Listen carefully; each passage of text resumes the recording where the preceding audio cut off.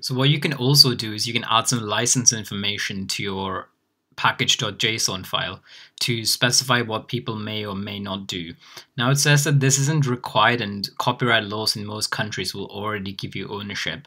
But if you want to make a project open source or something like that, you can specify what people can and can't do with the type of license.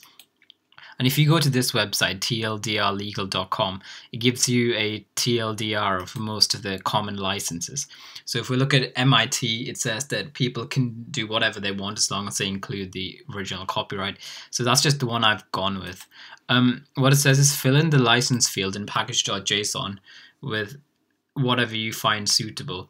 So I'm like I said, I'm just going to go with MIT. So you just create a key here called license and then you just put the name of the license in like this. And that should be everything you need to do. So you can just submit that after this. And yeah, that's perfect.